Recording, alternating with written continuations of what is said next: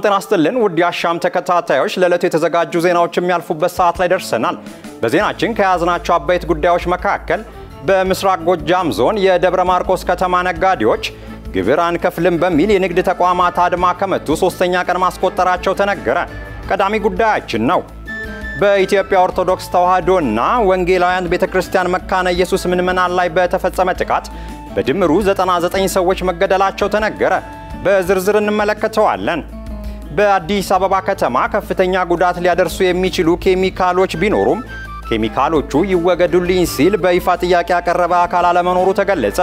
የከተማ አስተዳደሩን አነጋግረናል። በኢትዮጵያ አዳዲስ ወደ ሥራ የሚሰማሩም ሆነ በሥራ ላይ ያሉ ሠራተኞች የሥልጠና ክህሎት እንደሚያስፈልጋቸው ተነገረ። ሌላኛው ጉዳያችን ነው። ኢጋድ በሱዳን ጦርነት ላይ የሚመክር የቀጠናው ሀገራት የመሪዎች ጉባኤ በጅቡቲ ሊያካሂድ ነው። ለትንታኔ የመረጥነው ዓለም አቀፍ ርዕሰ ጉዳያችን ነው። የስፖርት ዘገባችንን ጨምሮ ሌሎች የሀገር ውስጥና የውጭ ዜናዎችንም አካተናል። ሰዓታቸውን ጠብቀው ይቀርባሉ። ተስፋው ነኝ ሰይድ ዜናዎቹን እያሳለፍ ቆይታ አድርጋለሁ። ውድ አሻም ተከታታዮች ከመላው የስቱዲዮ ባለሙያዎች ጋር በመሆን አብራችሁን እንድትቆዩ በአክብሮት እየጋበዝን ወደ ዜናዎቹ እናልፋለን።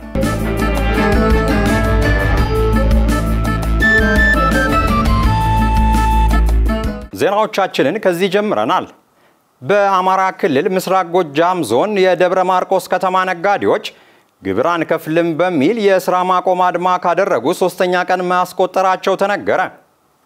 በአማራ ክልል ምስራቅ ጎጃም ዞን በደብረ ማርቆስ ከተማ ነጋዴዎች ግብር አንከፍልም በሚል የንግድ ሱቆቻቸውን በጅምላ ዘግተው አድማ ከመቱ ሶስተኛ ቀን ማስቆጠራቸውን የአካባቢው ነዋሪዎች ላሻም ነግረዋታል። የደብረ ማርቆስ ከተማ አስተዳደር የኮሚኒኬሽን ጉዳዮች ጽሕፈት ቤት ኃላፊ ካሳሁን ፀሐይ በበኩላቸው አልፎ አልፎ የተከፈቱ ሱቆች መኖራቸውን ገልጸው የነጋዴው ማህበረሰብ የሚያነሳውን ቅሬታ ለመፍታት መፍትሄ ለመስጠት ረቡዕ ህዳር 26 ቀን 2016 ዓ ም ውይይት እየተካሄደ መሆኑን ተናግረዋል። ኢየሩሳሌም አለሙ በአማራ ክልል ምስራቅ ጎጃም ዞን ዋና ከተማ ደብረ ማርቆስ በክልሉ በተቀሰቀሰው በትጥቅ የታገዘ ግጭት ምክንያት የ2015 ዓ ም ግብር ሳይሰበሰብ መቆየቱን አሻም ከከተማ አስተዳደሩ communication ቢሮ ያገኘችው መረጃ ያመለክታል። ይህንኑ ተከትሎ ከህዳር 24 ቀን 2016 ዓ ም ጀምሮ ከተማ አስተዳደሩ ከፍተኛ የግብር ተመን አድርጎብናል በሚል ምክንያት በደብረ ማርቆስ ከተማ የሚገኙ የንግድ ተቋማት አብዛኞቹ ከተዘጉ ሶስተኛ ቀናቸውን እንደያዙ በስፍራው ያሉ የአሻም የመረጃ ምንጮች ገልጸዋል። አሻም በዚሁ ጉዳይ የደብረ ማርቆስ ከተማ ነዋሪዎችን አነጋግራለች። ሁሉም ነዋሪዎች ስማቸውን ከመግለጽ ተቆጥበው በከተማው የሚገኙ ዋና ዋና የንግድ ተቋማት ከተዘጉ ሶስተኛ ቀናቸውን መያዛቸውን ጠቅሰው በዚህም ህብረተሰቡ መቸገሩን ለአሻም ነግረዋታል። እነዚሁ ነዋሪዎችም ነጋዴዎቹ የንግድ ተቋማቸውን የዘጉበትን ጉዳይ ለአሻም አስረድተዋታል። ሱቅ ዝግ ነው። ከትናንትና ጀምሮ ያለው ነገር የተዘጋ ነው ማለት ሰሞኑን ነው የአምራ ግብር ከፋዮች ዝርዝር የተላከው ማለት አዲስ ጥናት ነበረ መሰለኝ በአምስት ዓመት ውስጥ እና ግብር ከፋሉ ሲባል በጣም በዝቶብናል የሚል ተጨምሯል። በጣም ብዙ ይጠፍዶብናል። ከጸጥታው ጋር ተያይዞም አልሰራንም የሚል ነገር ይመስለኛል። ትራንስፖርት እንቅስቃሴ የለም ወደ ወዳ የሚያስወጣ በተለያየ ቦታ የድሮ መኪኖች አይወጡም። ግን ከተማ ውስጥ የባጃጅ እንቅስቃሴዎች አሉ። ሱቆች መሀል ያለው ዋናው አካባቢ ያሉት ዝግ ናቸው። ግን ምናልባት አልፎ አልፎ ዳር ላይ ወደ ኮንቴነሮች ዳር ወጥ ወጣ ወደ ገጠሩ ዳር ያሉት ምናልባት አልፎ አልፎ ይኖራሉ እንጂ ዋናው የንግድ ተቋማት ዝግ ነው።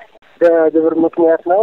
አምስት ዓመት አካባቢ የተጠና ጥናት ነው ምናምን ብለው ንግዶች እንትን ብለውባቸዋል መሰለኝ። በዛ የተነሳ ነጋዴው ደግሞ ይኸው በልክ በሰራ ነው ልክ አይደለም እንደ አቅማችን አይደለም የተጣለብን ምናምን እያለ በዛ ነው መሰለኝ አብዛኞቹ ሱቆች ዝግ ናቸው። ከተማ ማሪያ ዛሬ ሶስተኛ ቀናቸው ነው። አሁን ምንም ነገር የተከፈተ ነገር የለም። በዛውም የነዋሪውም ማህበረሰቡም የሚገዛው ነገር ምናምን ነገር የለም። ብዙም ጊዜ ችግር ላይ ነው። ምክንያቱም ላይ ማርቆስ እንትን ነው ግብር ክፈሉ ይሏቸዋል።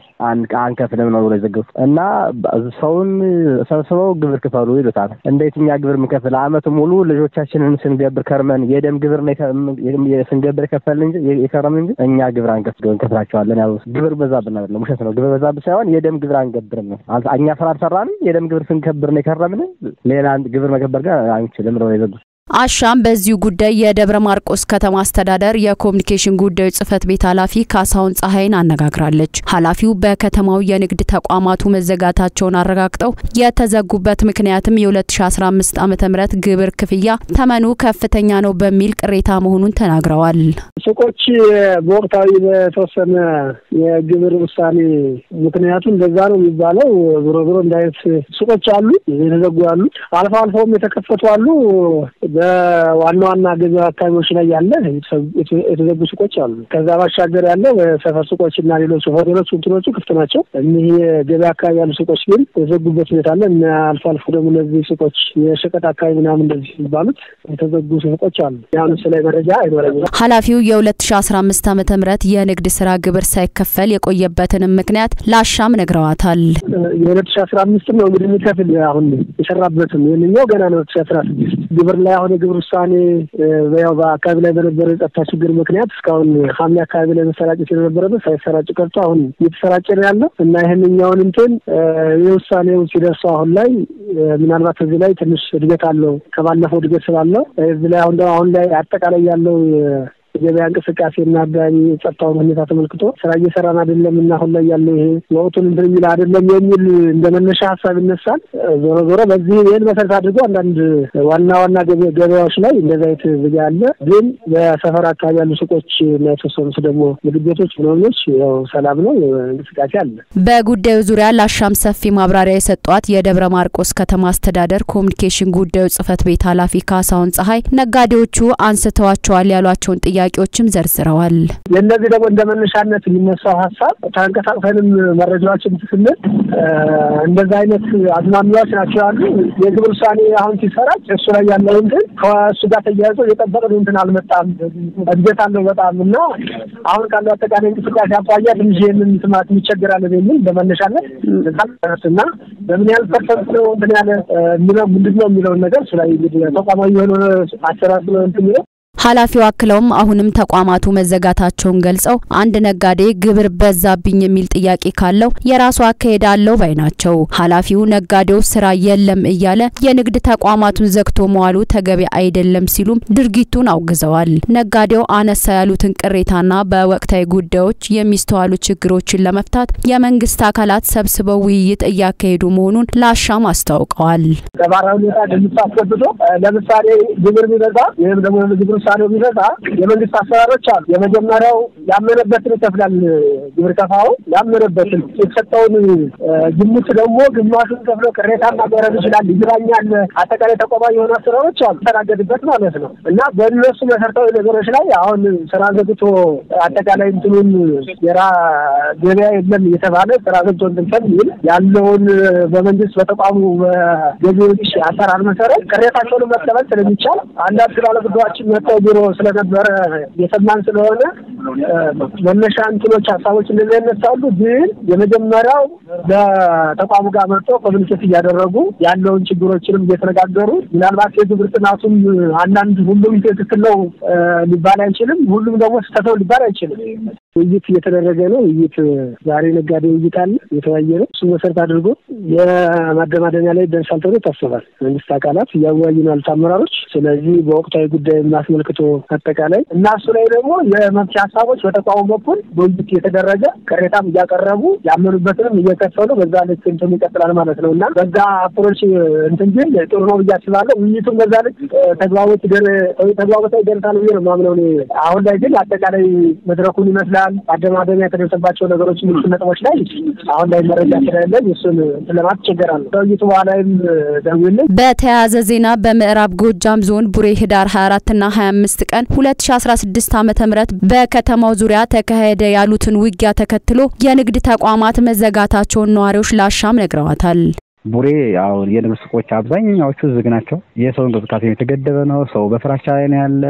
በቃ በጣም ከባድ ነው። አቴኝ የሚል ድምጽ ነው ያለ። በጣም ከባድ ነው። በቡሬ ዙሪያውን ተኩስ ነበረ። ያን ተኩስ ተከትሎ ሰው በዛ ያው ሱቅም ተከዘጋ ማለት ነው። ምዕራብ ጎጃም ምዕራብ ጎጃም። ይሁንና ህዳር 26 ቀን 2016 ዓ.ም በከተማው ተዘግተው የነበሩ የንግድ ሱቆች አብዛኞቹ ወደ ስራ ተመልሰው አንጻራዊ ሰላም የተስተዋለ ቢሆንም የደህንነት ስጋቱ አሁንም ባለመቀረፉ የትራንስፖርት አገልግሎትና የህዝብ እንቅስቃሴ ተገድቧል ሲሉ አንድ የቡሬ ከተማ ነዋሪ ለአሻም አጋርተዋታል። ክፍት ነው መኪና ምናምን ብዙ መኪና አይንቀሳቀስም። ከዛ ውጭ ግን ሌላ ስራ እየሰራ ነው። ቡና ምናምን ካፌዎች፣ ምግብ ቤቶች ተከፍተዋል። ከዛ ውጭ ግን ግን ሌላ የቢሮ ሱቅ አልተከፈተም። ምንትማት የቢሮዎች አልተከፈቱም። መኪና ምናምንም አይሰራም። ዞሮ ዞሮ ከትናንትና ዛሬ ዛሬ ይሻላል። የአማራ ክልል ካለፈው የ2015 ዓ.ም መገባደጃ ጀምሮ በክልሉ ተባብሶ የቀጠለውን የሰላምና ጸጥታ እጦትን ለማረጋጋት አስቸኳይ የጊዜ አዋጅ ተደንግጎ በኮማንድ ፖስት እየተመራ መሆኑ ይታወቃል።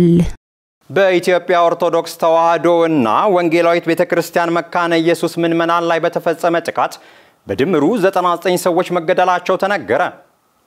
ቤተ ክርስቲያኖቹ ባወጡት መግለጫ በኦሮሚያ ክልልና በተለያዩ የአገሪቱ ክፍሎች በተለያዩ ጊዜያቶች በእምነቱ ተከታዮች ላይ በታጣቂዎች እየደረሰ ያለው ሞት መበራከቱን አስታውቀዋል።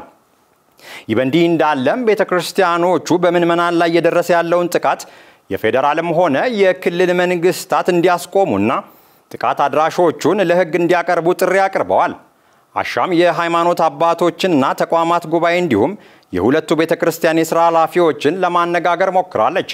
ፍራውል ኃይሉ የኢትዮጵያ ወንጌላዊት ቤተ ክርስቲያን መካነ ኢየሱስ በኦሮሚያ ክልል በቄለም ወለጋ ዞን በአባላቶቿ ላይ የደረሰውን ግድያ አስመልክቶ ህዳር 25 ቀን 2016 ዓ ም መግለጫ አውጥታለች። ቤተ ክርስቲያኒቷ በዚህ መግለጫዋ በኦሮሚያ ክልል ቄለም ወለጋ ዞን ጊዳሙ ወረዳ ሞነሃሞ ቀበሌ ቶኩማ ሞነሃሞ በተሰኘው የመካነ ኢየሱስ ማህበረ ምዕመናን ቤተ ክርስቲያን ህዳር 14 ቀን 2016 ዓ ም ከሌሊቱ 8 ሰዓት በቤተ ክርስቲያኒቱ በጸሎት ላይ በነበሩ 17 ሰዎች መካከል ማንነታቸው ባልታ ወቀ ታጣቂዎች በዘጠኝ ሰዎች ላይ ግድያ መፈጸሙን አስታውቃለች። ቤተ ክርስቲያኒቷ በመግለጫዋ ከፖለቲካ ምንም አይነት ግንኙነት የሌላቸው ንጹሐን ዜጎች ላይ የተፈጠረው ጭካኔ የተሞላበት ድርጊትን አውግዛለች። ቤተ ክርስቲያኒቷ በጊዳ የተከሰተው የምዕመናን ግድያ የመጀመሪያ ለመሆኑን አንስታ ከዚህ ቀደም በምስራቅ ወለጋ በሳሲጋ ወረዳ 15 የቤተ ክርስቲያኒቱ ምዕመናን በአምልኮ ላይ እንደነበሩ በጅምላ መገደላቸውን፣ በምዕራብ ወለጋ ዞን በቦጂ ወረዳ እንዲሁ በአምልኮ ላይ የነበሩ ሶስት ወጣቶች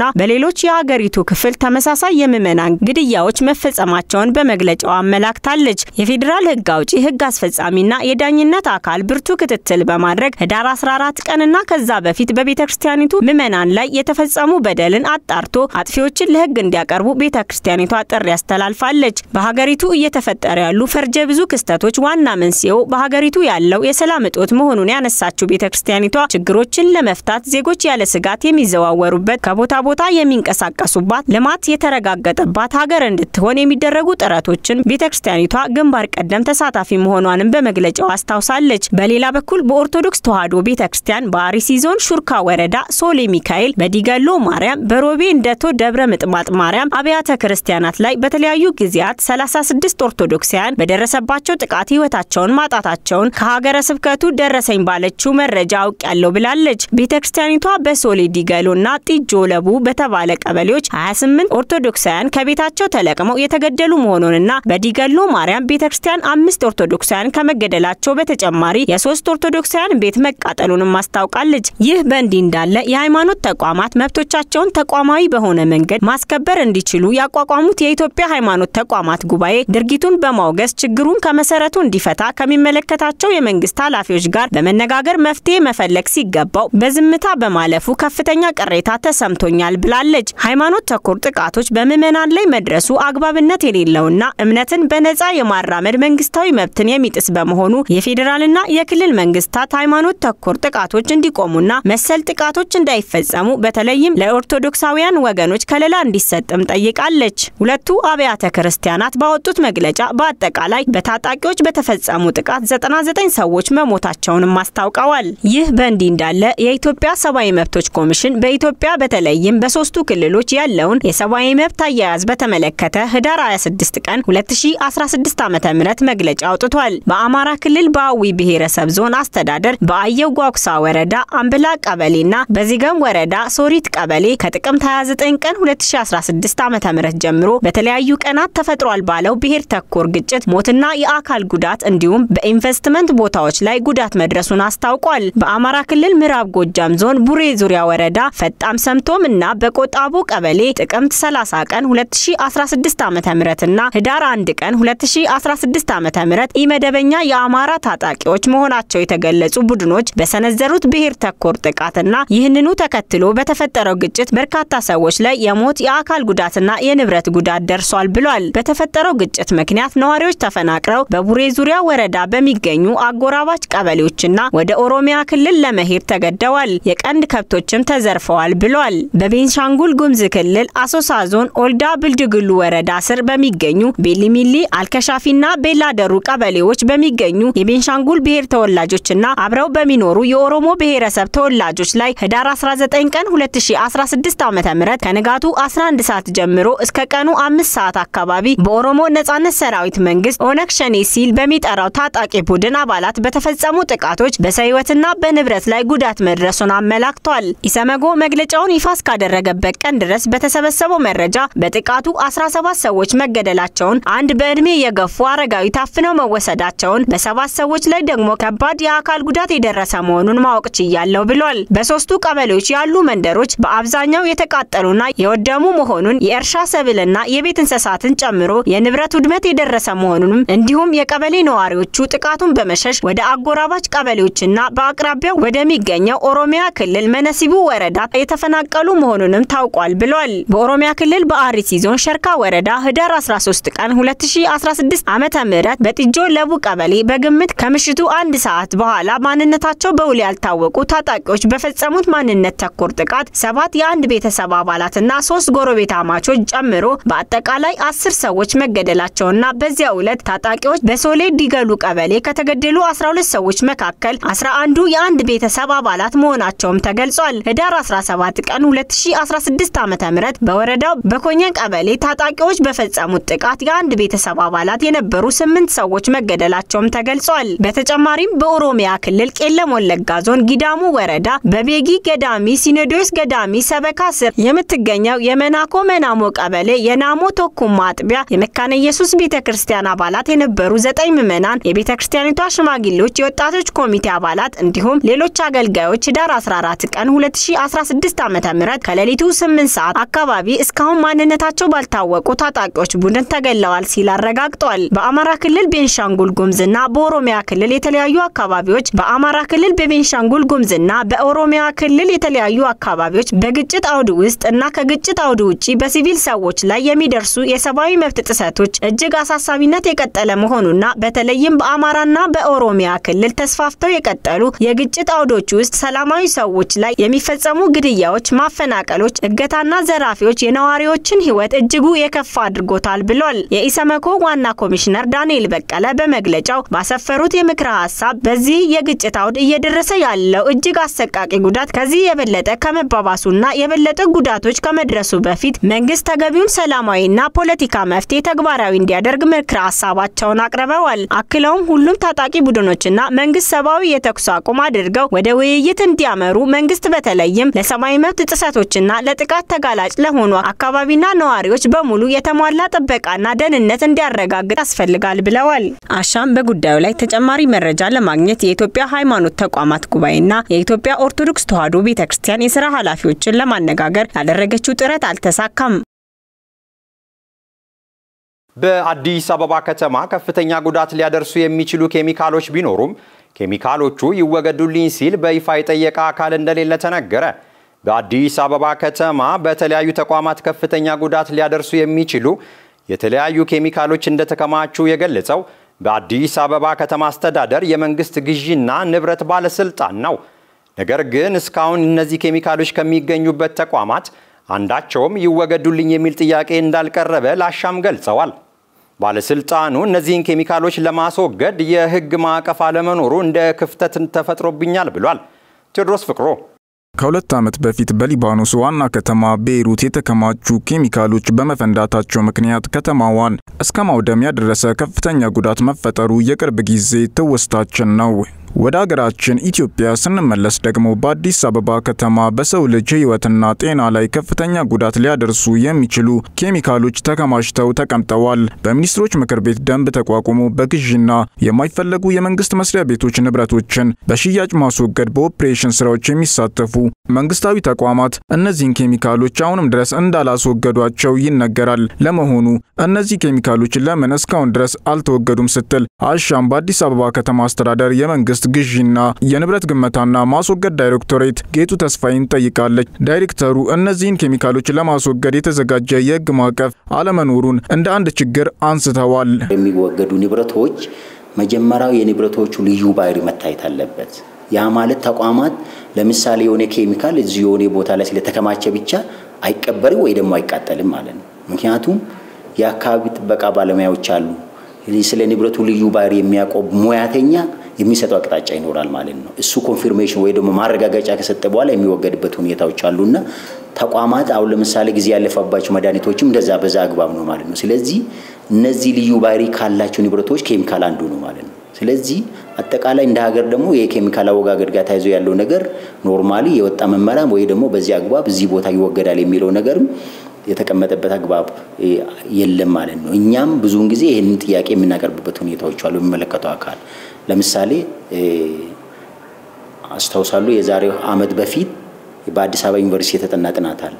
even አዲስ አበባ ላይ በርካታ የኬሚካል ክምችት መኖሩ ለእነዚህ ደግሞ እነዚህ ንብረቶች በምን አግባብ ይወገዳሉ የሚለው ነገር የተጠናበት ጥናት አለ። በተቋማት ውስጥ ከፍተኛ ጉዳትን ሊያደርሱ የሚችሉ ኬሚካሎች መከማቸታቸውን የገለጹት ዳይሬክተሩ ኬሚካሎቹ የሚወገዱበት የተለያዩ መንገዶች ቢኖሩም እስካሁን ግን ኬሚካል ይወገድልኝ ብሎ ለተቋሙ ጥያቄ ያቀረበ አካል አለመኖሩን ይገልጻሉ። እንደ አጋጣሚ ሆኖ ከተቋማት ይሄ ኬሚካል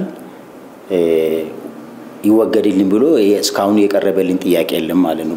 በተቋማት ደረጃ ተቋማት ይሄ ኬሚካል ይወገድልን ብሎ ተቋማት ለእኛ ያቀረቡበት ሁኔታዎች አይኖሩም ማለት ነው። አጠቃላይ ቢሆንም ምንድን ነው ይህ ኬሚካል መጀመሪያው የዚህ ንብረት ልዩ ባህሪ መታየት አለበት ማለት ነው። ይህ ኬሚካል ለምሳሌ ቢሸጥ really ጊዜ ያላለፈበት ሆኖ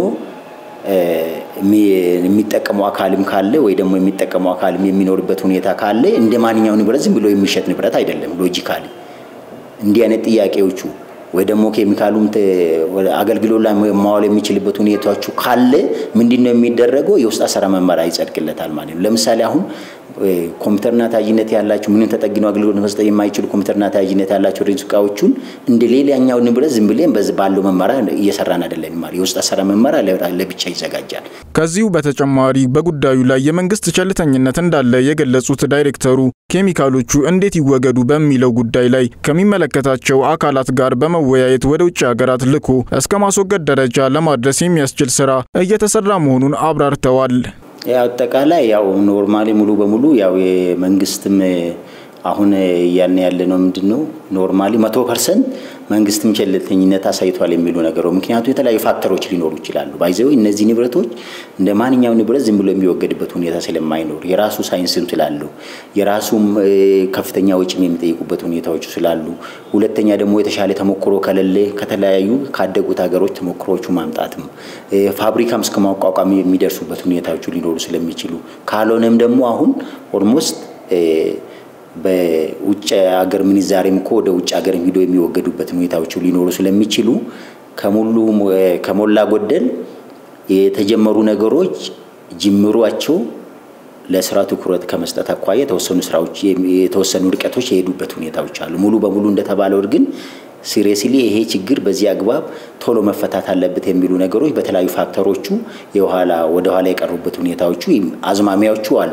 በቀጣይ እነዚህ የኬሚካል ክምችቶች መቼና እንዴት ይወገዳሉ የሚለው አሳሳቢና የሚጠበቅ ጉዳይ ነው የሚሆነው። በኢትዮጵያ አዳዲስ ወደ ስራ የሚሰማሩም ሆነ በስራ ላይ ያሉ ሰራተኞች የስልጠና ክህሎት እንደሚያስፈልጋቸው ተገለጸ። በስራ ቀጣሪዎችና ስራ ፈላጊዎች መካከል የሚታየውን ሰፊ ፍላጎት ለመሙላት ሰራተኞች የክህሎት ስልጠና መስጠት እንደሚገባ የስራና ክህሎት ሚኒስትር ዴኤታው ንጉሱ ጥላሁን ተናግረዋል። ሚኒስትር ዴታው ይህን ያሉት ATD ወይም Association for Talent Development Pillar በአማርኛ አቻ ትርጉም የክህሎት ማሳደጊያ ማህበር ከተባለ ስልጠና ሰጪ ተቋም ጋር በጋራ ለመስራት የፊርማ ስነ ስርዓት ማካሄዳቸውን ተከትሎ ነው። መሰረት ነቃ ጉባኤውን ተከታትሎ ተከታዩን አጠናቅሯል።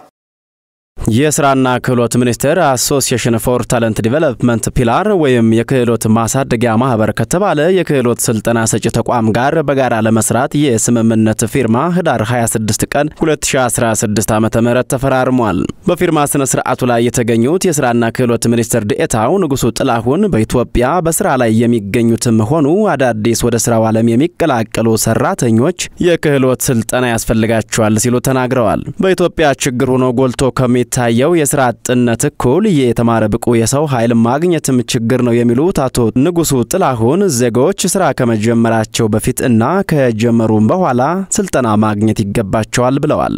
ዜጎች ወደ ስራ ከመሰማራታቸው በፊት ስራ ፈላጊዎች ወደ ስራ ከመሰማራታቸው በፊት ስልጠና ሊያገኙ ስልጠና ሊላበሱ ይገባል ማለት ነው።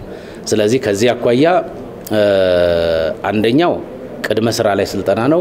ሁለተኛው የስራ ላይ ስልጠና ነው። የስራ ላይ ስልጠና በኢንተርፕራይዞችና በኢንዱስትሪዎችም የሚካሄድ ነው ማለት ነው። በኢትዮጵያ የዘርፉ ትልቅ ችግር ለኢንዱስትሪው የሚበቃ የሰው ኃይል ማፍራት አለመቻል መሆኑን የሚገልጹት ሚኒስትር ዴኤታው ስራ አጥነትና ስራ ፈላጊነት የቱንም ያህል ከፍተኛ ችግር ቢሆኑም ጎልቶ የሚታየው ግን ብቁ የሰው ኃይል እጥረት ነው ይላሉ። ስራ እድል ፈጠራ ስራ ውስጥ ያለው እና የቆየው ችግር በሀገራችን ለኢንዱስትሪው የሚበቃ የሚሆን የሰው ኃይል ማፍራት ነው። ስራ አጥነት ከፍተኛ ችግር ነው በሀገራችን። ስራ ፈላጊ አለ፣ ስራ አጥነት አለ። አንድ ችግር ሆኖ ይታያል። ይሄ ከስራ ፈላጊዎቹ ጎን በኩል ሲታይ ነው። በሌላ መልኩ ደግሞ በተለይም ከኢንዱስትሪው አኳያ ሲታይ ትልቁ ችግራችሁ ምንድን ነው ተብሎ ሲጠየቅ ብቃት ያለው የሰው ኃይል ነው። ስለዚህ በገበያ ውስጥ በርካታ ሰው አለ፣ ግን ደግሞ ብቃት ይጓደላል። በኢንዱስትሪ ውስጥ ደግሞ ቦታ አለ፣ ነገር ግን ደግሞ ብቁ ሰው ይጎድላል። ስለዚህ ምን አለ ማለት ነው? በገበያ ውስጥ የፍላጎትና የአቅርቦት አለመጣጣም አለ። በሰው ቁጥር አቅርቦት ችግር የለም። በሰው ብቃት አቅርቦት፣ በሰው ጥራት አቅርቦት ግን ችግር አለ። ኢንዱስትሪዎቹ ይህንን ይነግሩናል። በሌላ በኩል በሀገር ውስጥ ክህሎትን ለማሳደግ ዓላማ አንግቦ እንደተመሰረተ ለተነገረለት ማህበር ራሳቸውን የቦርድ ሰብሳቢ እንደሆኑ የገለጹልን ገመቹ አክቶላ ኢትዮጵያ ውስጥ የሚታየው የክህሎት ፍላጎትና የክህሎት አቅርቦት የተጣጣመ ባለመሆኑ የሚመለከታቸው ባለድርሻ አካላት የማመጣጠንና የማጣጣም ስራ መስራት ይገባቸዋል ሲሉ ተደምጠዋል። ኢትዮጵያ ውስጥ የፍላጎት የክህሎት ፍላጎትና የክህሎት አቅርቦት የተጣጣመ አይደለም። ይሄ የ labor market የምንለው መመራት ያለበት በሁለቱ በፍላጎትና በአቅርቦት መካከል መቀራረብ መምጣት ሲችል ነው። ይሄ ደግሞ መምጣት የሚችለው ፍላጎትን መሰረት ያደረገ ሲሆን ነው የሚል አቋም ነው ያለን እኛ። ስለዚህ ፍላጎትን መሰረት ያደረገ የክህሎት ስነ ምህዳር ኢትዮጵያ ውስጥ እንዲፈጠር ካስፈለገ የሁሉም stakeholder ኦች የሚመለከታቸው ባለድርሻዎች አስተዋጽኦቸውን ሊያደርጉ ይገባል ከሚል ነው። ከዛ ውስጥ አንዱ ባለሙያዎች professional ኦች ናቸው፣ ሌላኛው መንግስት ነው፣ ሌላኛው የግል ተቋማት ናቸው፣ ዩኒቨርሲቲዎች፣ ሌሎች ሌሎች ክህሎት ልማት ላይ የተሳተፉ አሉ። የክህሎት ማሳደጊያ ማህበር ቦርድ ሰብሳቢው በዘርፉ የሚታየውን የጎላ ክፍተት ለመሙላት ጉዳዩን ለሚመለከታቸው ባለድርሻ አካላት መተውና ጥቆማ መስጠት ብቻም ሳይሆን የሙያ ማህበራቱ አዳዲስ ፖሊሲዎችን ማስተዋወቅ ያስፈልገናል ሲሉም አክለው ተናግረዋል። አዳዲስ ፖሊሲ ለማስተዋወቅም ከስራና ክህሎት ሚኒስቴር ጋር በጋራ ለመስራት የሚያስችላቸውን የስምምነት ፊርማ ማካሄዳቸውን አመላክተዋል። FSD ኢትዮጵያ የተሰኘ ተቋም BimaLab Insurtech የተሰኘ ፕሮግራም ይፋ አደረገ። ህዳር 26 ቀን 2016 ዓ ም በይፋ የጀመረው ይህ የ BimaLab Insurtech ፕሮግራም በመጀመሪያ በ FSD አፍሪካ ተተግብሮ በኢትዮጵያ ወደ ስራ መግባቱን እና ፕሮግራሙ በቢልና ሚሊንዳ ጌትስ ፋውንዴሽን ድጋፍ ማግኘቱም ተገልጿል። በዚህ ፕሮግራም ላይ 15 መፍትሄ ፈጣሪዎች እንዲሳተፉ የተመረጡ ሲሆን የተለያዩ ስልጠናዎች በመጨረሻም አሸናፊው የገንዘብ ተሸላሚ እንደሚሆን ተገልጿል። ከተሳታፊዎች ውስጥ 11 ያሉ ጀማሪ ስራ ፈጣሪዎች ሲሆኑ ቀሪዎቹ አራቱ ደግሞ የኢንሹራንስ ኩባንያዎች እንደሆኑ ተገልጿል።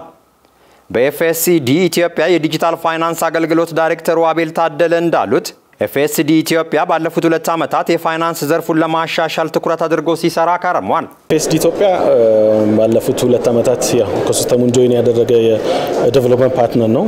በዋናነት የ financial sector ኡን ለማሻሻል ወይም deepen ለማድረግ ሀሳብ ይዞ የተነሳ ነው።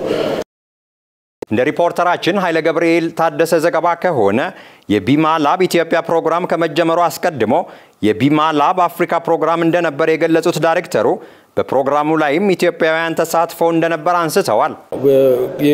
ይሄኛው የ BimaLab ኢትዮጵያ ፕሮግራም ከማድረጋችን በፊት የ BimaLab አፍሪካ ፕሮግራም ነበረን። እዛም ላይ እንደዚሁ ከኢትዮጵያ አራት insurtech company ዎች ተሳትፈው ነበረ። እንደዚሁ ከዚህ አስር ሀገሮች የተውጣጡ insurtech ኦች ፕሮግራም ሲካሄድ ያየነው ትልቁ የተማርንበት ነገር የኢትዮጵያ ውስጥ ያሉ የ insurtech ስራ ሀሳብ ፈጣሪዎችም ጥሩ ጠንካራ የስራ ፈጠራ ሀሳቦች እንዳሏቸው አይተናል። ፕሮግራሙ በስተመጨረሻ ሲጠቃለል ከተመረጡት ውስጥ ጥሩ ሁኔታ የተመረጡት ውስጥ የኢትዮጵያውያን company ዎችም ይገኙበታል። ያ ምን ያሳየናል? እኛም ጋር ኢትዮጵያ ውስጥም ጥሩ ጥሩ ጠንካራ አቅም እንዳለ ያሳያል።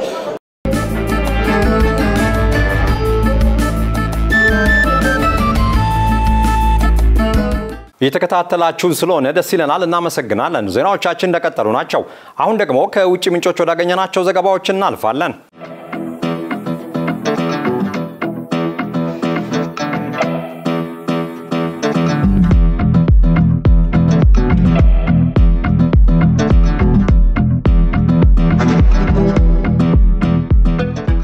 ኢጋድ በሱዳን ጦርነት ዙሪያ የሚመክር የቀጠናው ሀገራት የመሪዎች ጉባኤ ሊያካሂድ ነው።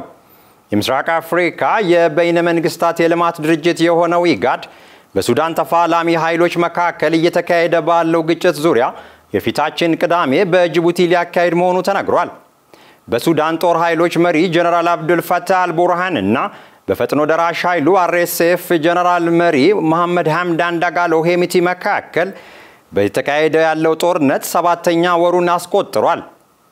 አዲስ እንግዳ ሰው የወታደራዊ መንግስት ግልበጣና ህዝባዊ አመጽ በማይለያት ሱዳን እንደ አውሮፓውያን አቆጣጠር በ1989 በወታደራዊ መፈንቅለ መንግስት ስልጣን የተቆናጠጡት የቀድሞ ፕሬዝዳንት ኦማር ሐሰን አልበሽር የ30 ዓመት አገዛዝ እንደ አውሮፓውያን አቆጣጠር በ2019 በሰፊ ህዝባዊ አመጽ ከተወገደ በኋላ በወታደራዊ ጀነራሎች እጅ ወድቃ የእርስ በርስ ጦርነት ውስጥ ትገኛለች። በተቀናቃኝ ጎራ ተሰልፈው እየተፋለሙ ያሉት የሱዳን ጦርና የፈጥኖ ደራሽ ኃይሉ ተደጋጋሚ የሆነ የተኩስ አቁምና የሰላም ስምምነት ላይ ለመድረስ በርካታ ጥረቶች በቀጠናውና በተለያዩ አካላት ጥረት ቢደረግም ምንም ጠብ ያለ ፍሬ ሳያፈራ ጦርነቱ ሰባተኛ ወሩን ተሻግሯል። በሱዳን ጦርነት ከተቀሰቀሰ በኋላ ቢያንስ ለሶስት ጊዜ ያህል የተኩስ አቁም ስምምነት ላይ ተደርሶ የነበረ ሲሆን እስካሁን የነበሩት የተኩስ አቁም ስምምነቶች ተፋርሰው ውጊያው ዛሬም ድረስ ቀጥሏል። የምስራቅ አፍሪካ የልማት በየነ መንግስት ባለስልጣን ኢጋድ በሱዳን ጦርነት ዙሪያ የሚመክር የቀጠናው ሀገራት መሪዎች ጉባኤ የፊታችን ቅዳሜ እንደሚያካሂድ ተነግሯል። በጅቡቲ የሚካሄደው የመሪዎች ጉባኤ በዋናነት የሚመክረው ጦርነቱ ባስከተለው ሰብአዊ ቀውሱ ዙሪያ እንደሆነ ተመላክቷል።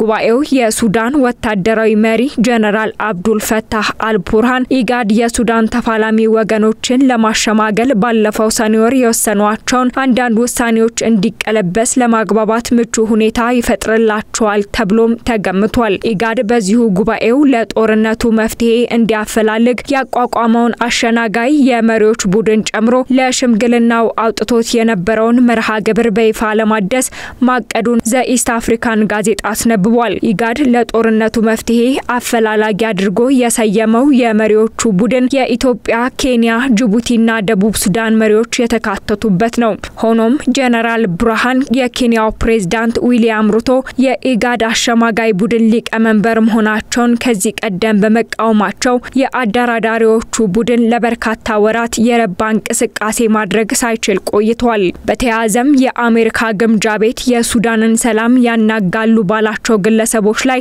አዲስ ማዕቀብ ጥሏል። አሜሪካ ማዕቀብ ከጣለችባቸው መካከል በፈጥኖ ደራሹ ሰራዊትና በቀጠናዊ ኃይሉ መካከል ግንኙነቶችን ያሳልጣሉ የተባሉ የተባሉት የቀድሞ ፕሬዝዳንት ኦማር ሐሰን አልበሽር ፕሬዝዳንታዊ ጽህፈት ቤት ኃላፊ የነበሩት ጣሃ ኦስማን ይገኙበታል። የቀድሞ የአልበሽር ባለስልጣን ሳሃል አብዴል ሙሐመድና የቀድሞ የሀገሪቱ የደህንነት ኃላፊ በአሁኑ ወቅት የሱዳን ኢስላማዊ ንቅናቄ ቡድን መሪ ሙሐመድ ኤታ አባስም ማዕቀቡ ከተጣለባቸው መካከል ዋነኞቹ ናቸው። ማዕቀቡ ግለሰቦቹ አሜሪካ ውስጥ የሚገኝ ገንዘባቸውን ወይም ንብረታቸውን እንዳያንቀሳቅሱና የአሜሪካ ኩባንያዎች ከግለሰቦቹ ጋር የንግድ ልውውጥ እንዳያደርጉ አግዷል። አሜሪካ ከዚህ ቀደም በሱዳን አለመረጋጋትን አባብሰዋል ባለቻቸው ሁለት ኩባንያዎች ላይ አዲስ ማዕቀብ መጣሏን አስታውቃም ነበር። ዋሽንግተን ለሺዎች ሞትና ለሚሊዮኖች ስደት ምክንያት ለሆነው ቀውስ ሩሲያ መቀመጫውን ያደረገው ኩባንያ አንድ ግለሰብ ላይ እገዳ መጣሏ አይዘነጋም። እርምጃው በሱዳን ጦርና በፈጥኖ ደራሽ ኃይሉ መካከል ጦርነቱ በሚያዝያ ወር ከፈነዳ ወዲህ ዋሽንግተን እርምጃዎችን ስትወስድ ቆይታለች። የአሜሪካ ግምጃ ቤት ከዚህ ቀደም የወሰደው እርምጃ በሱዳን ሰላማዊና ዲሞክራሲያዊ መፍትሄ እንዳይመጣ ያደረጉ አካላትን ተጠያቂ የሚያደርግ ነው ብሎ የነበረ ቢሆንም በሀገሪቱ የሚካሄደው ጦርነት እስካሁን ሊያቆም አልቻለም። ማዕቀቡ በተጣለበት ወቅት ግጭቱን ለግል ጥቅማቸው ሲሉ የሚያባብሱ አካላትን ኢላማ ማድረጋችንን ይቀጥላል ስትል ዩናይትድ ስቴትስ አስታውቃም ነበር። ግምጃ ቤቱ በኦማር አልበሽር ጊዜ የውጭ ጉዳይ ሚኒስተር በነበሩት አሊ ካራቲ ላይ እቀባ ማድረጉም ይታወሳል። በተጨማሪም ለፈጥኖ ደራሽ ኃይሉ የመሳሪያ ግዢ ይፈጽማል የተባለው ጂኤስኬ ኩባንያ ማዕቀብ ተጥሎበት ነበር። ካትሪና ሌሎች ጠንካራ የሱዳን እስላማዊ እንቅስቃሴ አራማጆች በጦሩና በፈጥኖ ደራሹ መካከል የተኩስ አቁም ላይ ለመድረስ የሚደረገውን ጥረትና የሱዳንን ዲሞክራሲያዊ ሽግግር እያደናቀፉ ነው ሲል ግምጃ ቤቱ ይፋ አድርጎም ነበር። የሱዳንን ጦርነት ተከትሎ በግጭቱ ተሳታፊ በሆኑ ግለሰቦችና ተቋማት ላይ ማዕቀቦች ቢጣሉም በአሜሪካ ማዕቀብ ስር ረዥም ዓመታትን ባሳለፈችው ሱዳን የአሜሪካ ማዕቀቦች የሚኖራቸው ጫና አነስተኛ ሊሆን እንደሚችል ባለሙያዎች ግምታቸውን ያስቀምጣሉ። አሁን ላይ ለብዙዎች ስጋት የሆነው የሱዳን ግጭት እንዴት ማቆም እንደሚቻል መልስ ያለው አካል አለመኖሩና በሰላማዊ ሰዎች ላይ እየደረሰ ያለው ጉዳት እየጨመረ መሆኑ መነጋገሪያ ሆኖ ቀጥሏል። ከሰሞኑ ይካሄዳል ተብሎ ሲጠበቅ የነበረው እና አሜሪካ፣ ሳውዲ አረቢያ፣ ኢጋድና አፍሪካ ህብረት በጂዳ ተፋላሚ ወገኖች የሰላም ድርድርን ላልተወሰነ ጊዜ ማራዘማቸው ተገልጿል። ሁለቱ የሱዳን ተፋላሚ ኃይሎች ከዚህ ቀደም በጂዳ ድርድራቸውን አካሂደው የነበረ ቢሆንም እስካሁን ወደ ስምምነት የሚያመጣ ነገር ሳይታይ መፍረሱ ይታወሳል። ዝርዝር ዘገባውን ስናጠናቅር ዘኢስት አፍሪካንና አልጀዚራን በዋቢነት ተጠቅመናል። እስራኤል የሐማስን ዋሻዎች ከባህር በሚሳብ ውሃ ልታወድም መወጠኗ ተነገረ። ዶናልድ ትራምፕ በድጋሚ ፕሬዝዳንት ከሆንኩ ከአንድ ቀን በላይ አምባገነን አልሆንም ሲሉ ተናገሩ። ትራምፕ ይህን ያሉት ዴሞክራቶችና የተወሰኑ ሪፐብሊካኖች የ2024ቱን ምርጫ ትራምፕ የሚያሸንፉ ከሆነ አሜሪካ በአምባገነን ጥራ ስር ትወድቃለች የሚል ማስጠንቀቂያ ማሰማታቸውን ተከትሎ ነው። በቴሌቪዥን በተላለፈ የአዳራሽ ፕሮግራም ላይ በድጋሚ ቢመረጡ ተቀናቃኞቻቸውን ይበቀሉ እንደሆነ የተጠየቁት ትራምፕ አልበቀልም ብለዋል። ትራምፕ ስልጣን ከያዙ በኋላ አምባገነን ይሁኑ እንደሆነ ለቀረበላቸው ጥያቄ አይ አይ ከአንድ ቀን በስተቀር አልሆንም ሲሉም ምላሽ ሰጥተዋል። ትራምፕ አንድ ቀን ያሉት ፕሬዝዳንታዊ ስልጣናቸውን ተጠቅመው ከሜክሲኮ ጋር የሚያገናኘውን የደቡብ ድንበር እንደሚዘጉ ለማመላከት ነው ተብሏል። በድጋሚ መመረጥ የሚፈልጉት ትራምፕ በድጋሚ ስልጣን የሚያገኙ ከሆነ የፖለቲካ ተቀናቃኞቻቸውን እንደሚበቀሉ ሲገልጹ ቆይተዋል። ትራምፕ በዚህ ዓመት ባደረጓቸው የምርጫ ቅስቀሳዎች በርካታ ክስ ያቀረቡባቸውን አቃቤ ሕጎችና የፍትህ ዲፓርትመንት ሊበቀሏቸው ከሚችሏቸው አካላት ውስጥ መሆናቸውን ተናግረዋል። ከፈረንጆቹ 2017 እስከ 2021 ድረስ የአሜሪካ ፕሬዝዳንት ሆነው ያገለገሉት ትራምፕ በባይደን መሸነፋቸውን አልተቀበሉም ነበር። በዚህም ምክንያት ትራምፕ ምርጫው እንደተጭበረበረ በመግለጽ በ2021 በካፒቶል ሂል ተቃውሞ እንዲቀሰቀስ አድርገዋል ተብለው ይከሰሳሉ። ትራምፕ የአሜሪካን ዴሞክራሲና ብሔራዊ ምስጢርን አደጋ ላይ በመጣል ተከሰው ፍርድ ቤት እየተመላለሱም ይገኛሉ። ውድ አሻም ተከታታዮች ለዕለት የተዘጋጁ ዜናዎች በዚሁ ተቋጭተዋል። ተስፋው ነኝ። ዜናዎቹን እያሳለፍ ቆይታ አድርጋለሁ። ቀጣይ አሻም መሰናዶች ይከተላሉ። ሰላም ለኢትዮጵያችን።